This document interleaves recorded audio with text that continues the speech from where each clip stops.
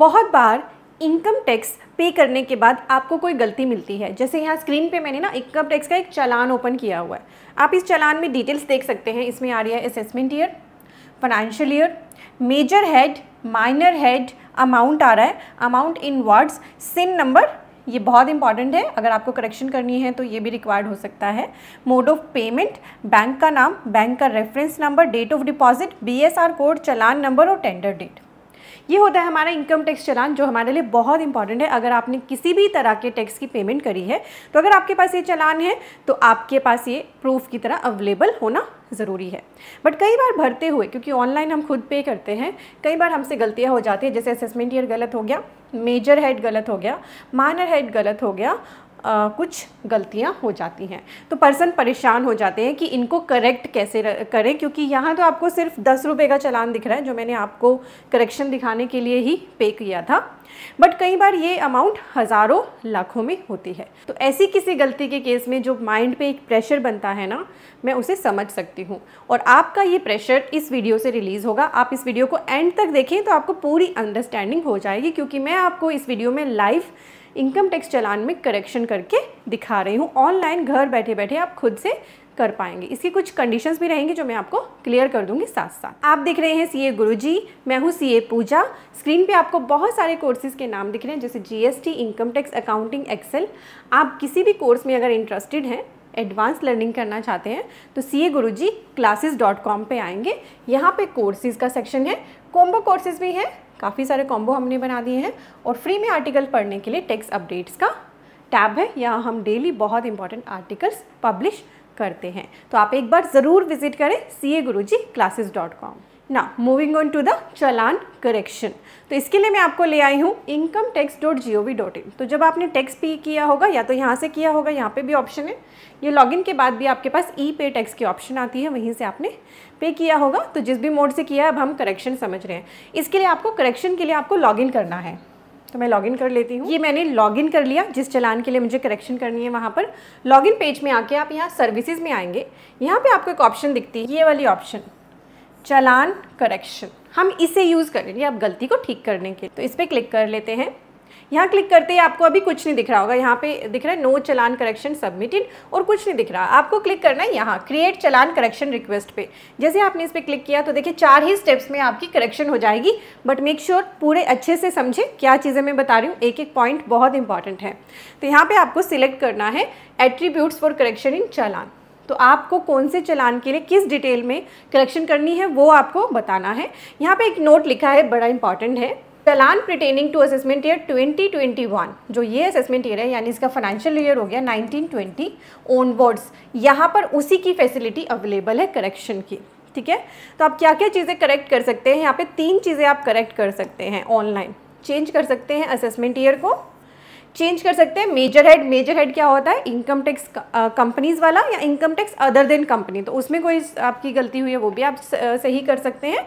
या minor head जैसे आपने एडवांस टैक्स भरना था, गलती से सेल्फ असेसमेंट टैक्स भर दिया सेल्फ असेसमेंट टैक्स भरना था, गलती से कोई और हेड में भर दिया। जैसे यहाँ पे लिखा भी है demand payment as regular assessment इस तरह के किसी हेड में भर दिया आपने। तो ये तीन करेक्शन आप कर सकते हैं।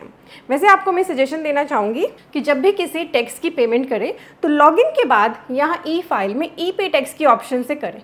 उससे क्या है कि एक तो आपका कुछ डेटा वहाँ पर ऑटोफिल हो जाता है। ठीक है?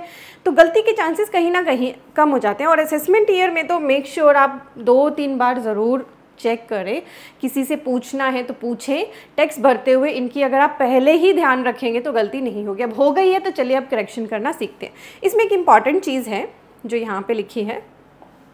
Challan correction request can be submitted within seven days of challan deposit date तो जो ये करेक्शन आप कर रहे हो ना, कौन सी उसकी नंबर वन जहाँ पे एक ही स्टार लगा है, वो कौन ये असेसमेंट ईयर की गलती, आप चलान पेमेंट के सात दिन के अंदर ही करेक्ट कर पाओगे।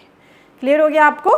देन दूसरा लिखा है इसमें, challan correction request can be submitted within thirty days of challan deposit date तो जो ये दो करेक्शन है ना मेजर हेड और माइनर हेड इनके लिए तीस दिन का टाइम ठीक है? तो पहले तो आप नोट कर लें असेसमेंट ईयर की गलती आप सेवन डेज़ तक ठीक कर सकते हैं।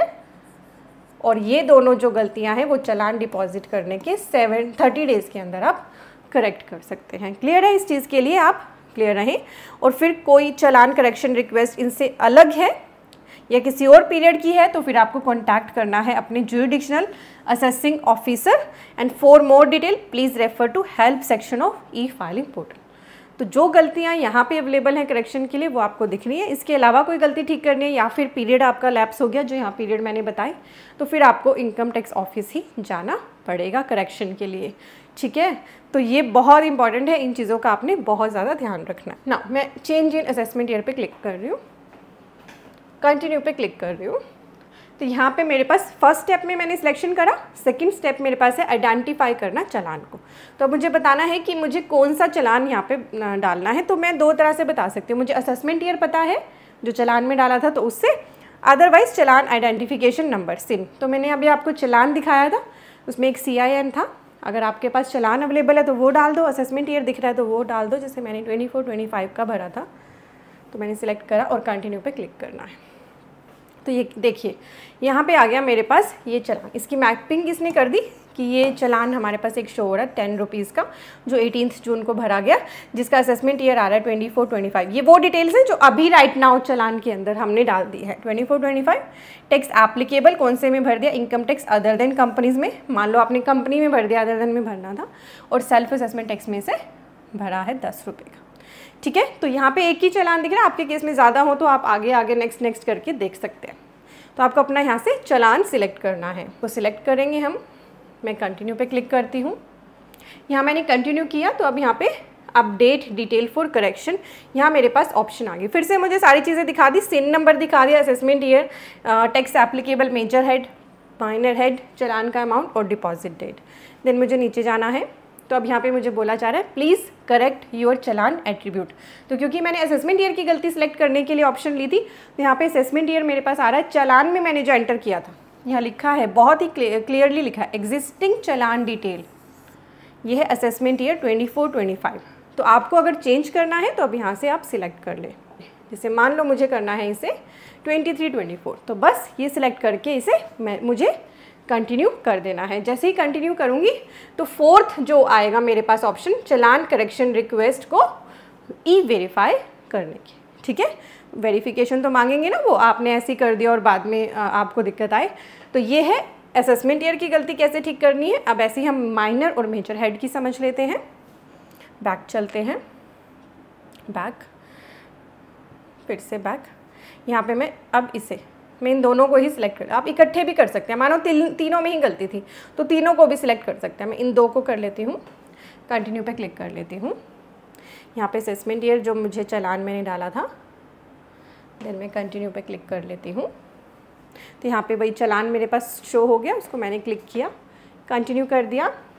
उसकी डिटेल्स आ गई। अब नीचे मुझसे पूछा जा रहा है कि देखिए, बस बहुत ही सिंपल है एग्जिस्टिंग चलान की आपकी जो मेजर हेड है, वो अदर देन कंपनी है, और जो माइनर हेड है, वो सेल्फ असेसमेंट टैक्स है। हमें अब जो अपडेट करना है, उसके लिए लिस्ट में दिया है, जैसे कि income tax other than company के केस में आपके पास ऑप्शन है अदर देन कंपनी या फिर स्टेट ड्यूटी जो भी है, आप अपना हेड यहाँ से ले सकते हैं आप।